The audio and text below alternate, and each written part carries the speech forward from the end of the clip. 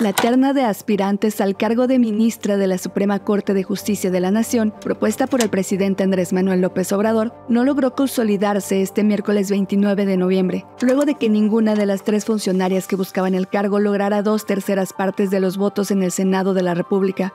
La que quedó más cerca del cargo fue Berta María, alcalde Luján, quien ganó las dos votaciones con 58 y 68 votos respectivamente, pero en ninguno de los casos logró alcanzar los 75 votos necesarios para obtener el apoyo de las dos terceras partes de los 113 legisladores que votaron este miércoles.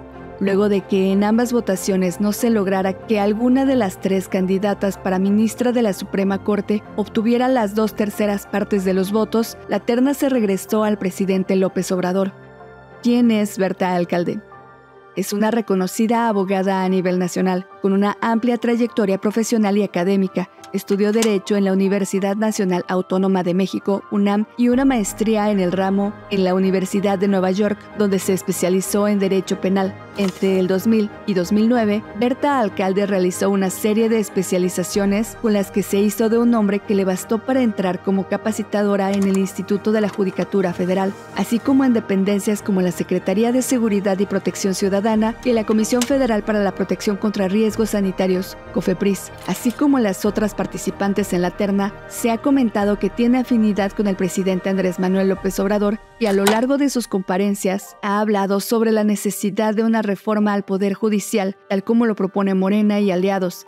Además, es hermana de la Secretaría de Gobernación, Luisa María Alcalde Luján, asunto que incomoda a funcionarios de oposición. El nombre de Berta Alcalde tomó más relevancia a inicios de este año, luego de que se reveló que era una de las aspirantes para suplir a Lorenzo Córdoba como consejera presidenta del Instituto Nacional Electoral. Ahora volvió a la conversación, al ser la más competitiva en la búsqueda de ser la ministra de la Suprema Corte en sustitución de Arturo Saldívar, quien renunció a su cargo en semanas pasadas para unirse a Claudia Sheinbaum en su búsqueda de la presidencia en 2024. Estos han sido los dos procesos de los que no logró obtener un cargo público. Consejera presidenta del INE, Berta Alcalde era considerada como una de las favoritas de Morena y aliados. Sin embargo, no lograron que juntara la mayoría calificada para ser la nueva consejera presidenta, por lo que el asunto se tuvo que definir por azar. Ministra de la Suprema Corte. Luego de ser incluida en la terna del presidente López Obrador, Berta Alcalde sonó como una de las principales opciones para ser la nueva ministra de la Suprema Corte,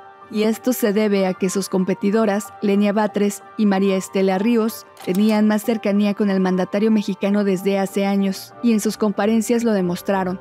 Puede que el camino no esté perdido para Berta Alcalde, ya que es posible que sea incluida en la próxima terna y que incluso el presidente López Obrador, en caso de que los senadores no lleguen a un acuerdo, la seleccione directamente.